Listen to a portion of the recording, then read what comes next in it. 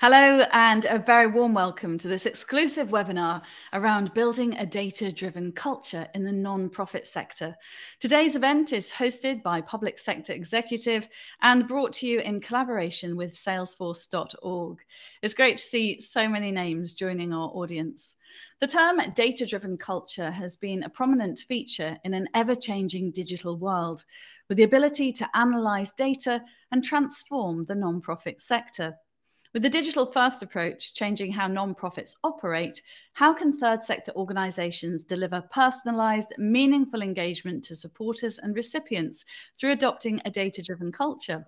Well, in this webinar, we'll give you through, we'll talk you through what nonprofit leaders need to navigate and highlight the positive steps that you can take towards a data driven culture.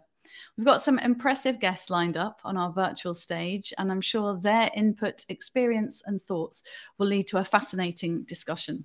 Today, of course, is not just about us talking to you. It's designed to be a conversation. I'd like to encourage you to get involved and ask questions of our guests using our live Q&A function. I'll keep an eye on what's coming in throughout and open up the floor to you once our debate gets underway. So today's theme is around the term data driven culture. But what does it actually mean? Why is it important to you in the third sector? And how can it help you improve your organization's outputs? Our ability to analyze data and transform the nonprofit sector is becoming increasingly relevant in our digital world, uncovering vital new insights and information which have never before been so accessible. We can deliver more personalized, meaningful engagement to supporters and recipients through smart use of data. But you don't have to take my word for it. To give you a rich insight into the power of data for the non-profit sector, I'm delighted to be joined by Mark Hereward, Chief Data Officer at UNICEF. We're hoping to be joined by Elspeth Sully shortly, who's the ICT lead at charity which provides healthy school breakfasts to disadvantaged children at risk of hunger here in the UK. We've also got with us Gerard McGovern, CIO of Guide Dogs, and Santosh Carvalho, Director of Digital Transformation and Innovation at Salesforce.org. So uh, thank you, Mark, Gerard, and Santosh for joining us, and uh, welcome to our virtual stage. I always think it's a nice and interesting way to start off by uh, hearing a little bit about, uh, you know, giving everybody a minute or two to introduce themselves. And uh, Mark, you're UNIF- UNICEF's first ever Chief Data Officer, appointed in January this year. Tell us a bit about you and, and how you hope to change children's lives through data. Thanks so much. It's great to be here. And uh, I, I am. Um, I picked up a term a couple of years ago. I, I call myself now a factivist.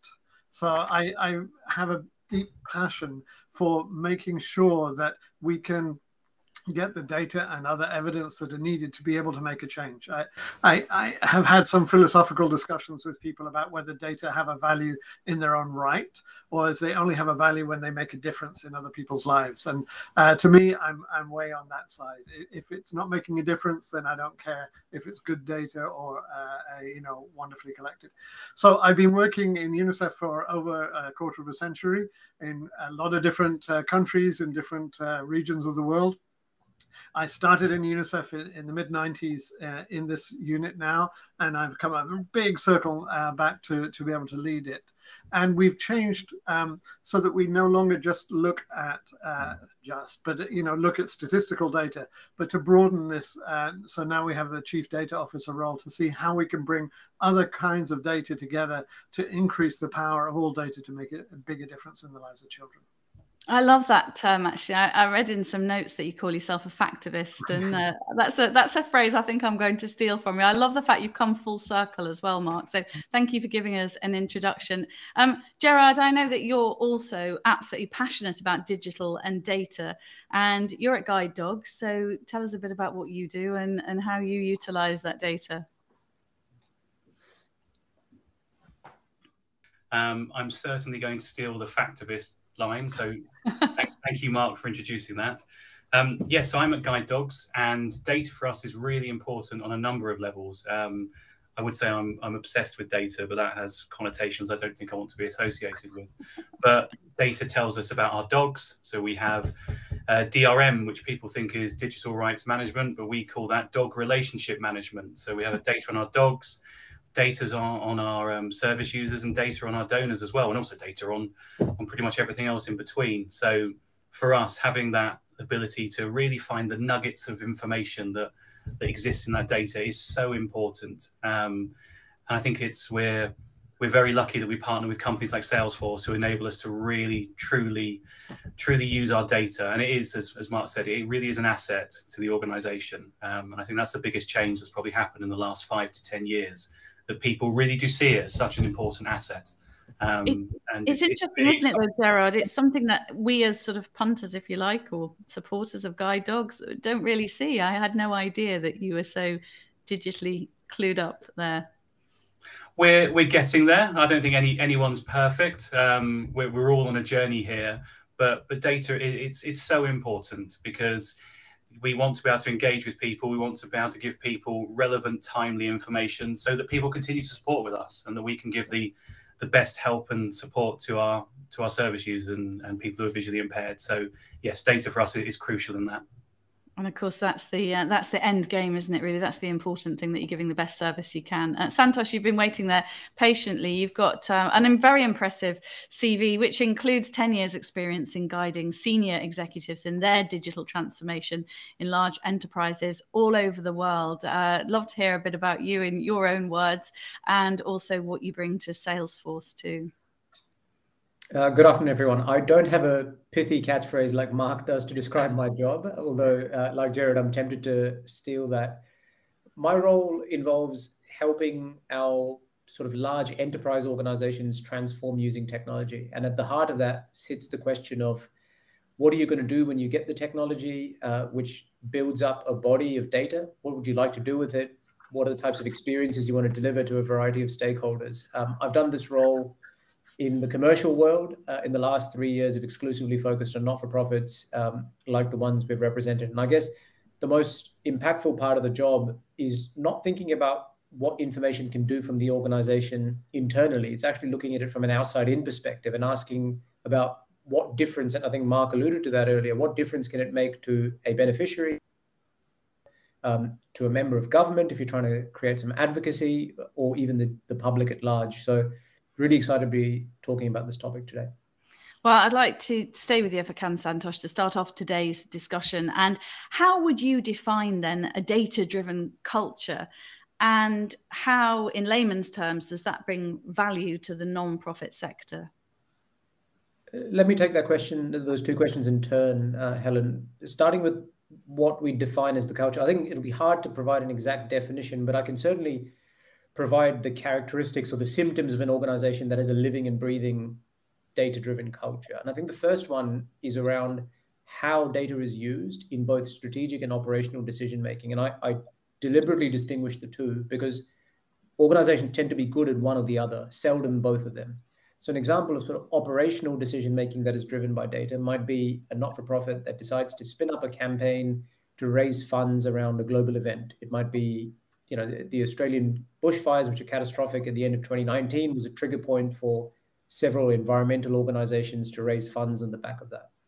And I think a data driven culture in this operational sense will not wait for the end of the campaign to reflect on how successful they were vis a vis the amount of money invested, the number of individuals that engaged with that campaign, how many might have contributed, how many might have signed up to be volunteers. They won't wait till the very end they use information in an operational sense to tweak that campaign whilst it's happening. So a decision to say, you know, a new social media channel like TikTok's taking off, perhaps that's where we should respond because we're seeing greater levels of connection there. And likewise, we want to scale back our efforts on Facebook because we're not seeing as much response there. So that's that's an example of the type of operational decision making that relies on data.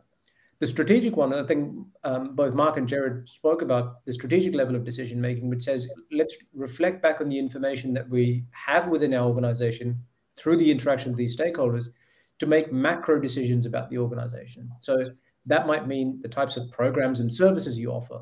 Uh, in UNICEF's case, it might be the number of, you know, the, the specific types of countries you might want to deliver your services, whether it's better delivered directly whether it's better delivered through partners. So those macro decisions. So I think that for me is the first characteristic, the level of decision making and how data plays an influence there.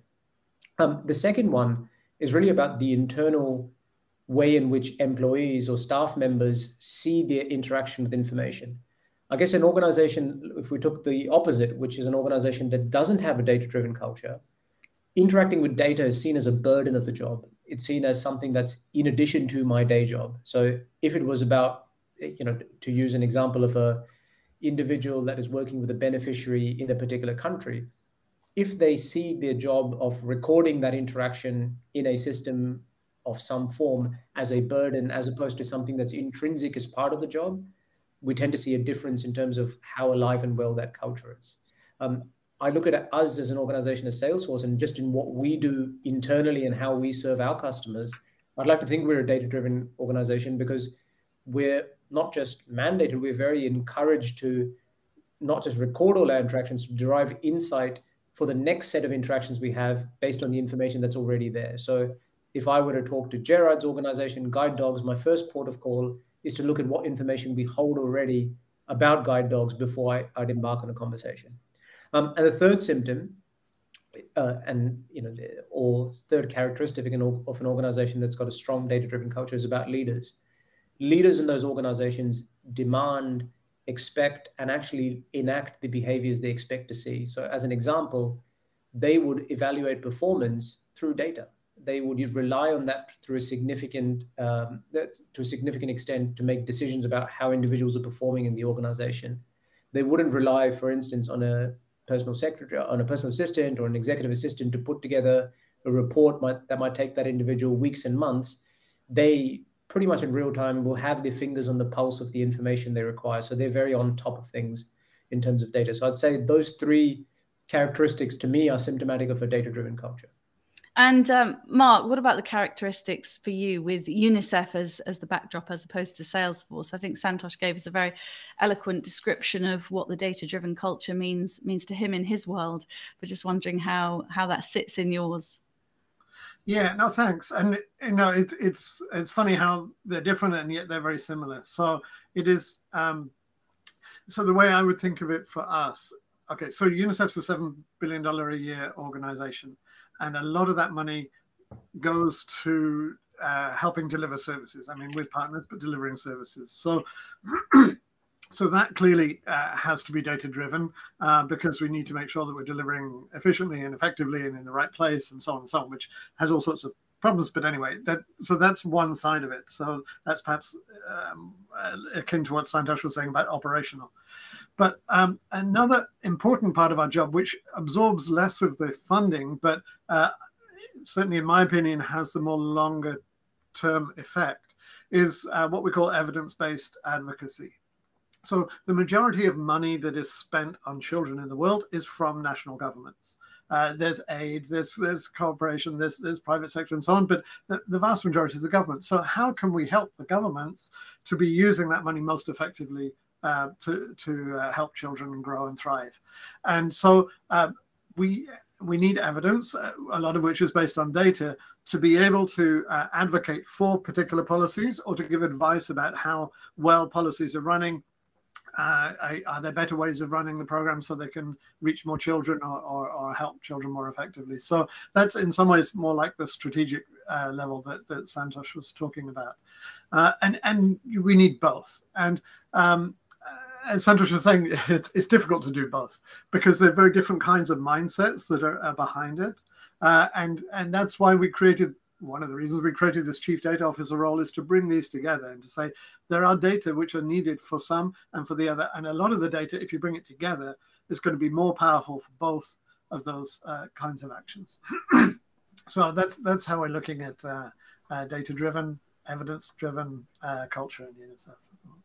Gerard, do feel free to add to Santosh and Mark's comments there, but also I'm wondering as well how we bring everybody along with us on this data journey. So it's a really good point. I would completely echo what uh, Santosh and Mark have said. I think to pick up on one thing Santosh said about feeling that it's a burden to to enter this data, I think that's it's a really important point on two aspects. That first of all, we all need to do a better job of explaining the importance of data. Um, there's generally there's three reasons why we we do things at, at guide dogs or across all organizations. It's going to increase value, um, it's going to make us more efficient, or to be very blunt, if we don't do it, we're going to be in trouble and end up in jail. And I, I quite like not being in jail, as, as do most of my colleagues. So it's about explaining that, that sometimes we, we, we have to do these things, but also it's about then explaining what the benefit is when you do them. So above and beyond just the, the regulatory side, the fact that we can help more people, the fact that every time we create more value or become, become more efficient, more people are being helped. So that's really important. But on the flip side, as technologists, we need to make sure that what we create is as easy to use as possible. And certainly being at Guide Dogs, where accessible technology is incredibly important to us. And it's not just about being accessible, it has to be usable. So simply because you can log onto a system does not mean it's a usable and user friendly system. So if we really want to get the best data in, we've got to create the best and easiest to use systems to get that data in there. The the other steps we, we can work on, but if you're not getting good data in to start with and people don't see the value of it, you're, you're never going to succeed. And how do you make sure, Gerard, that nobody loses out? Before we started today's webinar, we were talking about my blind friend Amar Latif, who people may remember because he was the semi-finalist in um, in the cooking program, celebrity cooking program, and he's been blind since he was 18. So it's interesting to see how he receives his emails and his data. How do you make sure that you're blind and partially sighted um, people that are part of guide dogs don't lose out on that journey? So it's sometimes very hard. We we can things we develop ourselves. We have an awful lot of control over, but we are we're sometimes beholden to external partners. I, I will say, not just because they're involved in this in this uh, webinar. Salesforce are excellent. We have a great relationship with Salesforce. They have an accessible technology team. Um, same with companies like Microsoft and Apple as well. So when we are dealing with companies like that, it's it's not easy. It's still it's, there's still challenges, but it's far easier than I can tell a story of um, we were trying to procure an HR system. And part of that is um, allowing people to apply for a role. And when you were filling out the boxes for your name, address, etc., it produced a pop up, which is a little bit 1995, but we'll, we'll let that one go. Um, who use screen readers. So the impaired and have the screen read out what is on the screen they they couldn't see in inverted commas the pop up. Response we got back was, well, if they enter the information correctly, then they're able to proceed. And it's it's for someone who's in in the sector and lives and breathes this. It's just an incredible naive answer. So yes, we have challenges, but at the same time, we also have to educate people. And it's the same with security. We're on the same sort of journey. Go back 10 years ago, people built a product and then thought about security later. That definitely isn't the case now. Security is there by design. And we all know it's there by design because it's cheaper doing it when you build the product rather than trying to fix it later. The same is true of accessibility. If you make your product available to all, then you've already done the hard work. It's really easy doing it at the start. But it is it is sometimes tough. Sometimes we we have to procure systems that are not as accessible as as they should be because we have to choose the the best of a very bad bunch. But it's something I'm incredibly passionate about. Celebrity MasterChef was the show that just slipped my mind there. Uh, Santosh, uh, I'd like to hear later on a bit about bit about the support for guide dogs, actually. Um, but in the meantime, how do we develop and then sustain a data-driven culture? What are your thoughts? So, sorry, Santosh. What are your thoughts on sustaining that culture? I think it starts with leaders uh, to be able to set the example. So I, I'm sort of always taken aback at the number of organizations that will come to us and ask us for advice on potentially things that are not going wrong, and they quickly identify or they think they've identified the root causes in terms of either the technology or even in terms of the skill sets within the organization. But actually, it starts by a willingness to change behaviors that are led by leaders. And um, not just in those operational strategic decisions that I spoke about, but even in the behavior they embody in using it. So, as a you know, very, very small example, our leader for our organization sets the tone because before, you know, when he needs to be briefed for a particularly important meeting. So Davos is coming up. Uh, it's on the agenda for a number of different organizations. He'll be meeting several organizations. He will refuse to be, you know, in any meeting unless there's some evidence-based data that that's derived from our system, our our information that we hold about those customers before he interacts with them. You know, anything people say about, you know, I think or I believe, he'll sort of catch those phrases and say, "Great, tell me what informs that belief or that thought," um, without which he'll refuse to progress. So you know, that's just one example of the type of leadership. The second is, I think, what Gerard mentioned. I can't echo that enough.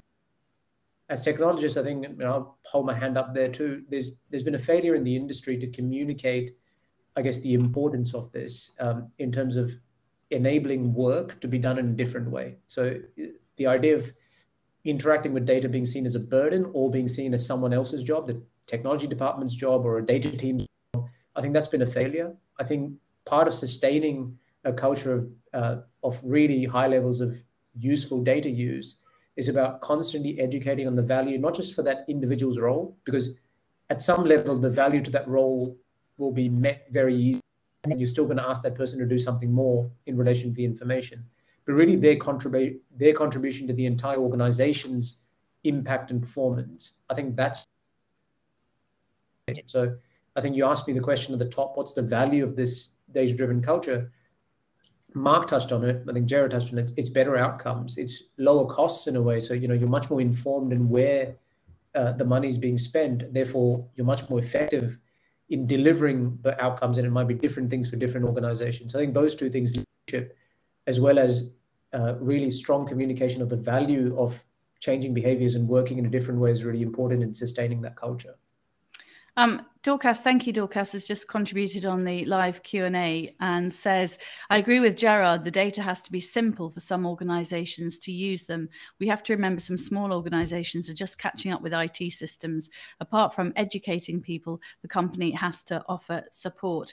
Um, Mark, when we have too much data, I'm guessing that there can be issues around bottlenecks, and I wonder if you can just talk about that and what are some of the common bottlenecks in a data driven culture well certainly that that you come across. Uh, yeah i i can. I'm actually going to steal a little bit of, of some of the other questions that perhaps to lead into that. uh, thank you. Because um, uh, we data people are forever putting out data. Um, what we're not good at is necessarily creating the demand for that data uh, for those data or communicating them in a way that people um, can hear it and can assimilate it, which which relates to that comment you just picked up off the off the Q and A. Mm. Uh, we we tend to put out data in a way that we understand and that we think, uh, but happily we are not normal, and and so we have to uh, get normal people to help us say, oh, this is what I want to know. Um, and uh, and that does apply to this this this bottle. So I mean, in, in some ways, that is a bottleneck. Is is uh, kind of a culture gap in, in what we do, um, but also um, the the excess of data. So I, I talk to you know a lot of people in our organization about data, and they either tell me they don't have enough data or they have too much data and um, you know maybe it's uh, Goldilocks needs to come in and help us out here for to get the right uh, right amount of data. But the reason is that um, we have a lot of data that is generated by what we do um, when we deliver stuff, when we measure. You know, it's a lot, a lot of data. So number one is how do we manage that and bring it under control and and get value from it, so it's not just a mass of, of data that's overwhelming.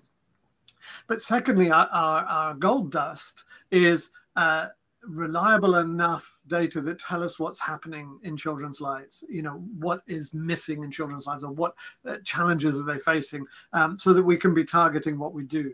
And and so that's the gold dust. And and what we're looking for is an alchemist who can who can take this massive data and and glean knowledge from it to be able to inform um, the, the the kinds of data points we need to be able to be more effective or for our policy advice and advocacy to be more effective. So it, it's it's both an, a glut and a, and a drought at the same time, which is um, uh, an interesting conundrum.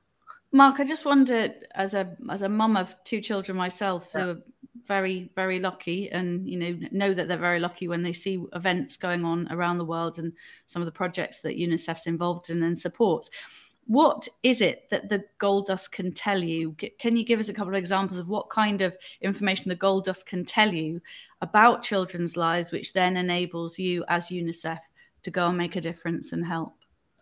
Yeah, well, let's give an example. Um, so, what we, okay, COVID on everybody's minds, obviously. Uh, it had a devastating effect on the education system in every country. I, I you know, mum of two children, you felt it too. Uh, schools closed almost everywhere, uh, and in some cases for a year or even more than a year. Uh, so, what are the alternatives? The alternatives are some kind of remote learning, but um, who you know, which children live in a house that has a computer and an internet connection, or even a television, um, or, or, even a radio? And and um, if you don't know where uh, the the um, the facilities are to be able to do the remote learning, you don't know what kind of remote learning to do.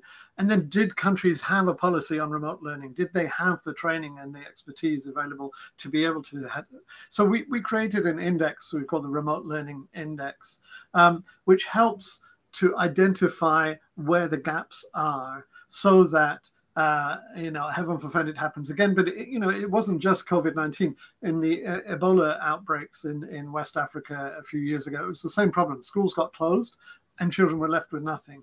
And once children have been out of school too long, they may never go back. So, uh, what you know, what is the what is the situation that means okay yeah we can, can we can continue uh, uh, giving lessons through uh, TV and maybe have a teacher going around once a week to be able to talk, you know. And so it by when you know what there is and what there isn't, then you can help design the program to be able to help uh, so that the children don't get too much harmed by what's going around them.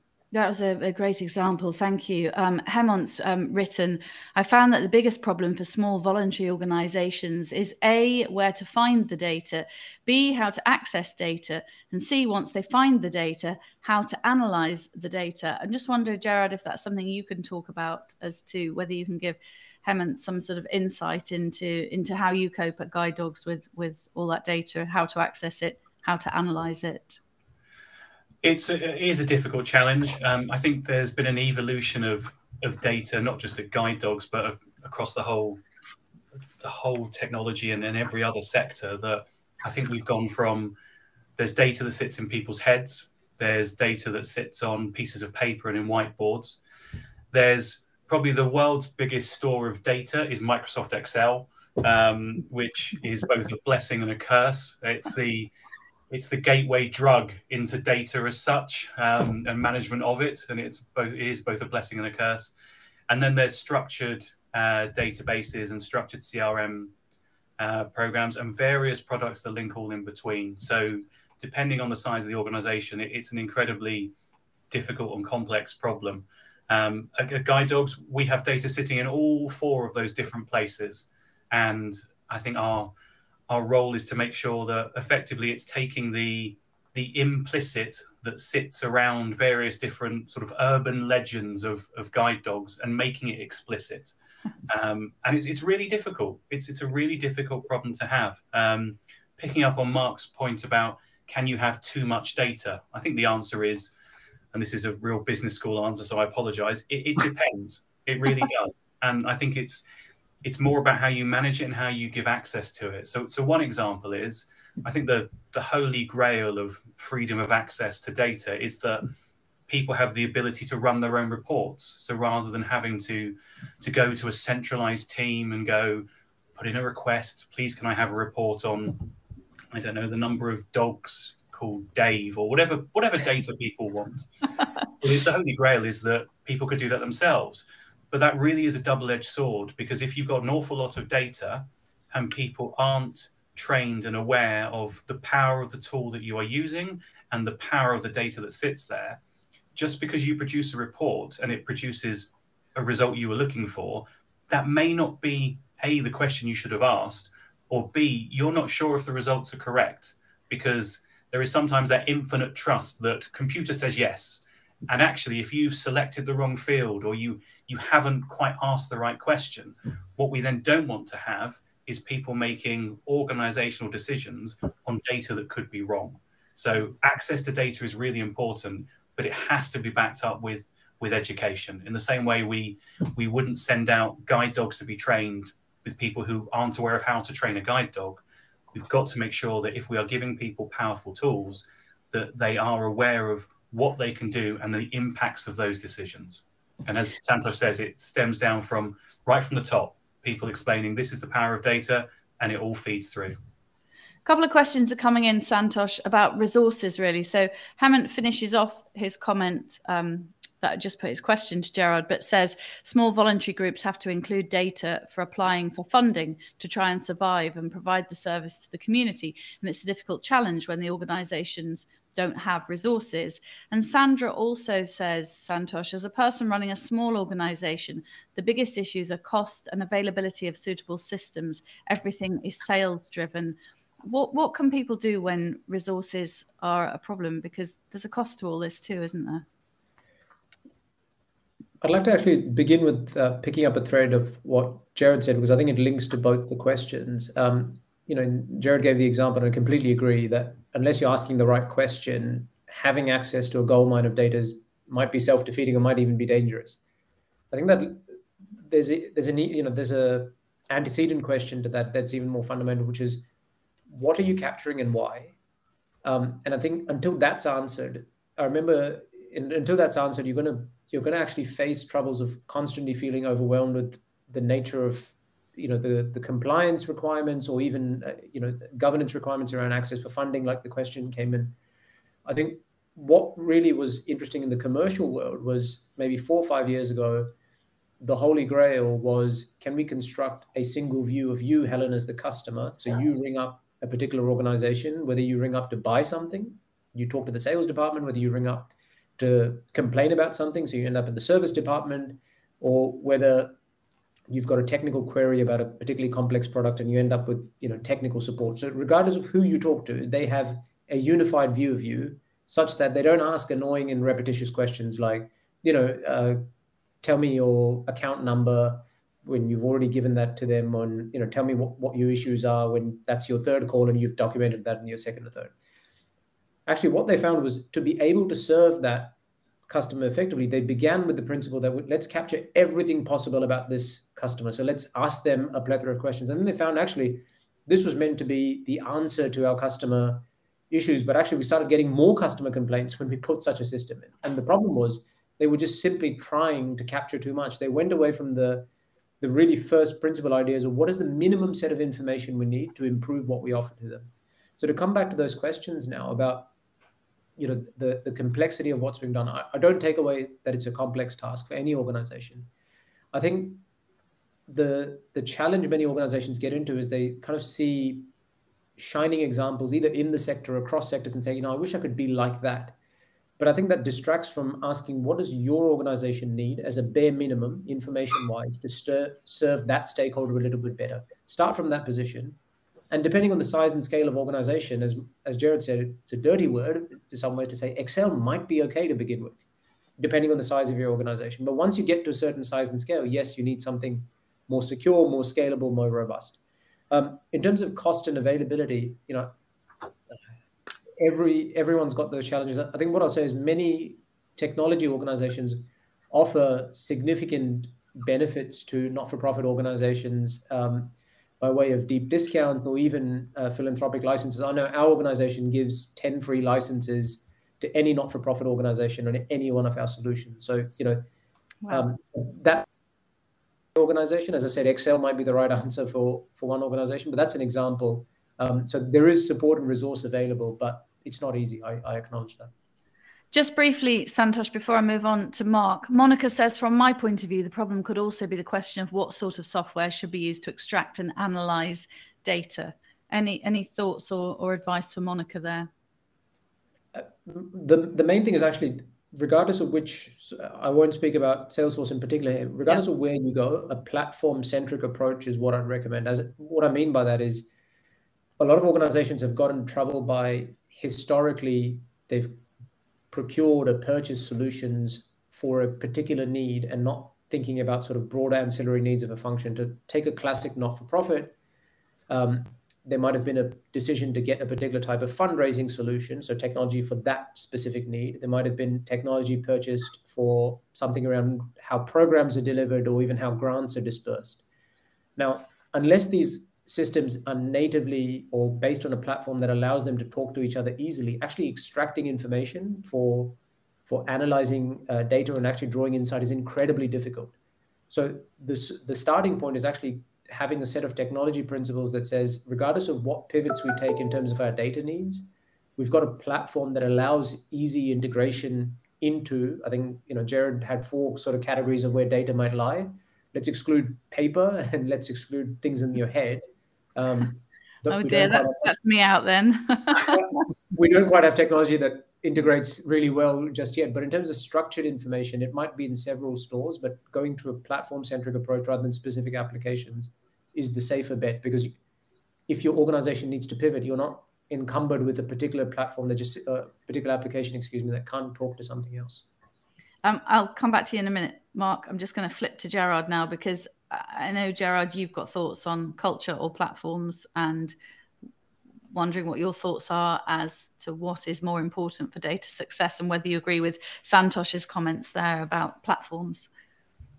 So I certainly agree that having your your data in a platform is preferable to it being in an application because it gives you more ability to to use that data elsewhere. Um, I was going to also say that you can try and plan ahead as much as possible, but invariably, I've I've been doing this long enough that you can make the best plans in the world, but trying to plan anything more than six months in advance generally doesn't work. So don't be too disheartened if you if you pick something and it's not quite right. Um, we are blessed now that the ability to move data around is far easier than it's ever been. Um, that's also part of the reason why we have so many data breaches because people are moving data around. So again, another double-edged sword. But on that platform versus culture, I don't think you can have one without the other if you have the world's greatest platform, your data is curated to the nth degree and everything is perfect, which all of us on this panel and on the call know that will never ever happen.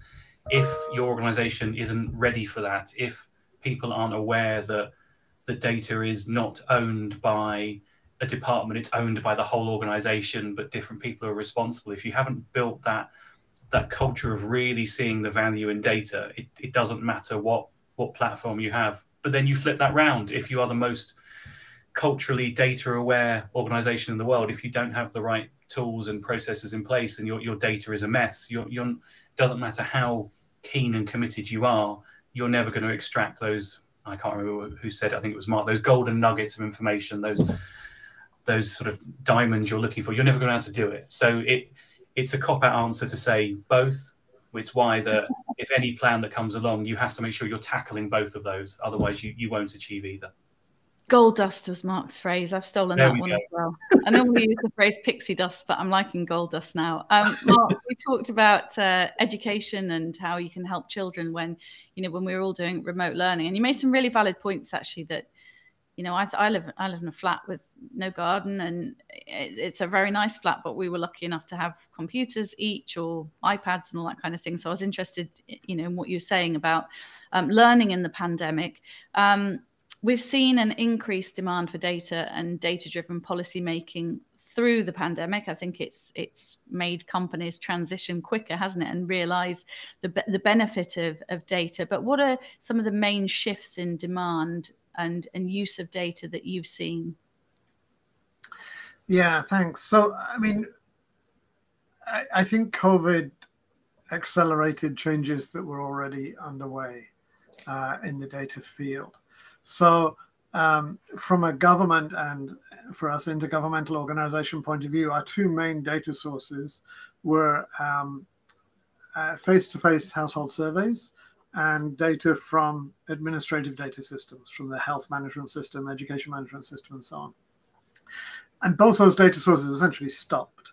Um, uh, you couldn't do face-to-face surveys, and uh, schools closed, so the education system, uh, data system closed. The health system was overwhelmed, so that system. So uh, we were suddenly left without these two main legs that we normally stand on, and the demand, of course, multiplied we need to know now where is the pandemic? How are people being affected? Are children more or less affected than others? The, you know there's there's instant questions and zero data sources.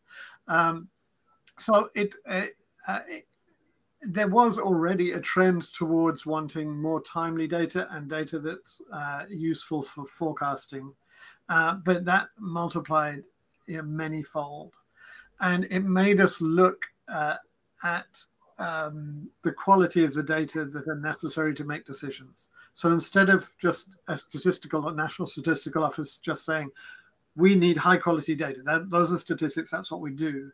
Um, um, it, uh, they changed and, and we have changed to be able to say, well, if we're just trying to decide, you know, uh, which district in the country is worst off, um, we don't need very accurate data. We just, you know, as long as it's reasonably representative, that's all we need to know. We don't need to know exactly how badly off it is. We just need to know it's worse off than everywhere else. So uh, it changed the way that we looked at data. And um, what's it has helped me to do is to concentrate on how do we answer the questions that people have rather than tell people what we think they ought to know. Um, and uh, it, it, sounds really dumb, but uh, you know it, it, it's really quite a difference. So when you come to you know as Gerard was saying, when you come to having a great uh, data display or you know a platform, that's fine, but great for whom? You know, and and part of it is what we call the um, uh, what I call in, in, our organization data savvy. So it, it's people who are comfortable with using data, who are competent, and who are committed to using data. But at the same time, it's having platforms that respond to people. I I have I have a few little hobby horses in my stable, and one of them is that I hate dashboards. I mean, I love them using them, but most people can't use them. I have a senior manager who every time he's shown an exciting new dashboard, he will say, "That's really exciting. Can you summarize it for me in one page?" You know, he's not going to look at it. He doesn't have time to go delving and you know deep deep dives and so on we have to answer what people need to know, not tell them what we think they should know. Um, I'm smiling as I'm listening to what you're saying, Mark, but I'm also smiling because I was about to put this to you, Santosh, from Sandra, which is why don't software providers simply write or adapt CRMs for the third sector? They still get the profit, and the third sector gets the benefit of a functional product. And I've noticed that Oliver's written back Hi, Sandra, salesforce.org does just that. More information here. So there's no need actually. We've got Oliver kind of on a reserve in the backstage virtual stage there, which allows me to ask if you'd like to follow on from what Mark said and how you know how how you changed in the pandemic and how you treated data differently and and what effect that had on your organization? Yeah absolutely. Um, for us it in some way was a continuation of business as usual. So we'd always had a working setup that allowed us to be partly remote partly in the office. And i think what was really beneficial of having this existing data driven culture was you know within two days the you know, 90,000 employees of what we are now we probably were a few uh, a fewer number two years ago we were able to pivot quickly. In terms of what mark was saying um, i think yes expectations have fundamentally changed. Um, there, there is no going back to how things were and they've, they've changed in two dimensions. Um, there's the external stakeholder and again i'll i'll address that broadly. That can be a donor um, it can be a beneficiary it can be someone you're just looking to engage from an advocacy perspective. Their expectations of how they want to be talked to from not for profit organizations as well as commercial organizations have fundamentally changed. They have been able to carry on life as normal for two years, um, everything around their health through to supermarkets, through to every single aspect of their life has managed to happen without seeing a human being. So there's an expectation that instance, give money, I'm able to do so very simply at the click of a button, et cetera, et cetera. Similarly, and interestingly, we're seeing this with certain humanitarian organizations at the moment. Um, you've got an, a wave of, if you like, um, refugees or people at risk of dis, uh, displacement who are actually as tech savvy as anyone you'll get in a well-off Western country. And actually, the way you engage such beneficiaries is probably through technology. And it's actually counterintuitive to think about it that way, where we think of high levels of deprivation and we might think there's a different approach needed. Actually, it might be cheaper, faster, more effective to engage that way. That's the external lens. Internal lens, not to be forgotten, as important as anything else. Employees or staff members, volunteers, people have been working in a very different way for the last two years. And actually, in some cases, their jobs were made a lot more difficult. So if an organization didn't have an existing data-driven culture, to switch to a remote way of working probably would have doubled the amount of work they were doing, made it more difficult in some ways. But I think there's an opportunity out of that to think about how, if normal, whatever we, we call this post-COVID world we live in, there's a different way of talking to stakeholders through technology or and other means, and data is at the heart of that can we change the relationship between the employer and the employee as well um, in terms of how easy is it for them to do their job and i think the confluence of the two making it easy for, to engage this end stakeholder making it really easy for someone internally to do the work that's where transformation truly happens and i think that's our point of view of where where organizations need to go next have one question each left for Mark and Gerard. I was going to do it the other way around, but since you've just said about people, I'm going to flick to Mark because people and organizational buy in are a massive part of this too, aren't they, Mark? Yeah, and, and different kinds of buy in from different people. Uh, the, the organization I work in, uh, the most important people to get engaged and to get committed are those leading our 130 country offices around the world um, because our organization is very decentralized and uh, is geared around the fact that that's where results for children happen. And regional offices and their headquarters are there to help that happen. So it's it's engaging and inspiring um, those people to see how, for example, data make a difference in what they're doing, both in in terms of what services delivering and, and, and in terms of policies. And once we have that excitement, that you know in some ways percolates up. And and uh, although traditionally we you know uh, culture change happens by leadership from the top, um, we it, it, kind of happens in both directions uh, in UNICEF. As long as there's enough demand from those people who are highly respected and doing their work, which is directly affecting children's lives, the senior management uh, also uh, buy in and recognize and, and support. So um, it's always just showing this makes a difference. You know, if this helps, then people will want to do it. If it's an added burden, there's no way people will do it. So no pressure, Gerard. But the final comment's going to be uh, from you, if that's okay. I mean, the digital area we all know is a very competitive marketplace. How does the non-profit sector make sure that they can get ahead and and hire people who have got the right skills to to use this data in the right way and to be able to make a difference? So the nice, easy question to answer at the end. Thank you, Helen. Um, Pleasure. it's it's difficult. Um, we COVID has been both a blessing and a curse in terms of uh, recruiting talent, in that people can work from anywhere. So before we were, as an organisation, very much tied into nine to five, you come into the office and that's how it works. And that made attracting people very difficult because our main offices are there's one in Reading, there's one in London. Um, when it comes to opportunities for people to work, the, Reading is a mini tech hub. London, we know, has an awful lot of technology. So being able to open that up to anywhere in the UK is incredibly empowering but that also applies to absolutely every other organization in the in the UK as well that they've had that ability. I think for us, it's about. I think I know from my perspective, I've worked at commercial organizations, I've worked at third sector ones. That there's a reason I'm working at Guide Dogs, and it's because of the connection to the cause. It's about really being able to make a not just a tangible, but an, an incredible difference to people with sight loss and allowing them to live the life they choose. So it's about selling selling us as an organization, explaining that, and this comes back to data as well, that, that what they are doing, if you connect all the dots, it's helping, it's dramatically helping someone with sight loss. So whether it's UNICEF, whether it's Guide Dogs, whether, whether it's any organization in the third sector, it's about appealing to um, and nothing against the financial sector. I have many friends who work in there, but there, there's a reason why um, people in the third sector don't get up every day and go and work for a bank. And it's about explaining that. But it, it is a challenge. It's certainly with digital. Um, I think the biggest change coming for the third sector is that two way relationship with data. No longer is it that someone gives us data, we do something with it, and they never see it. People, as Santosh said, people now demand almost an instantaneous response. And creating that two way relationship is entirely dependent on digital services. So it's an interesting challenge, but one we have to meet because we need to meet the the needs of our donors, our volunteers, and our service users.